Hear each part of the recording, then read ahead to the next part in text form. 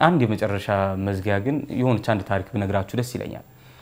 ያኔ አዲስ አበባ ዩኒቨርሲቲ ተማሪ እያለን ጋዜጠኝነትና communication ማለት ነው ስለሺ ደምሴ ወይንም ጋሽ አበራ ሞላ እንግዳ አድርገ ነው መጣ እና ጥያቄ ይጠይቀዋል። ተማሪ ነው የእኛ batch ነው እና እኛ ደግሞ ታዳሚዎች አለን እያዳመጥን ነው እና አይምሮ ላይ የቀረችውን ስለሺ ደምሴ ወይንም ጋሽ አበራ ሞላ ያላትን አንድ ታሪክ ልንገራችሁ።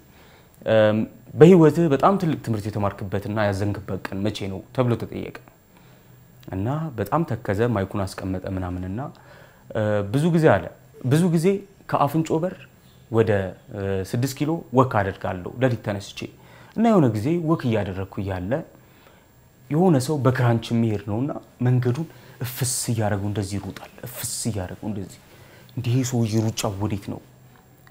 እንዴት ነው በዚህ ሌሊት የሚተመው? ምን ነው ብዬ በሶምሶማ ከኋላ ተከተልኩታል። ልክ ሰውየው ሲደርስ እንጀራ በሞሰብ የምታድለዋ ሴትዮ የመጨረሻዋን እንጀራ ለሰው ስትሰጥ ላቡ ጠብ ሲል እኩል ሆነ።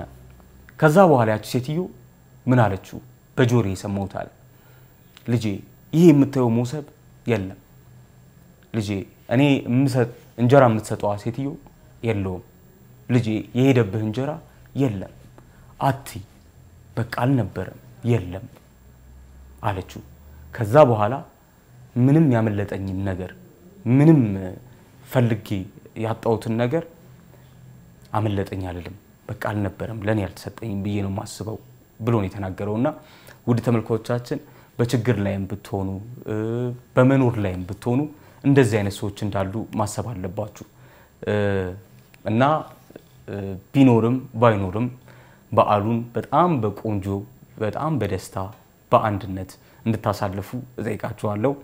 በጣም ወዳችኋለሁ። መልካም በዓል ይሁንላችሁ። ጄቲቪ ሪሞት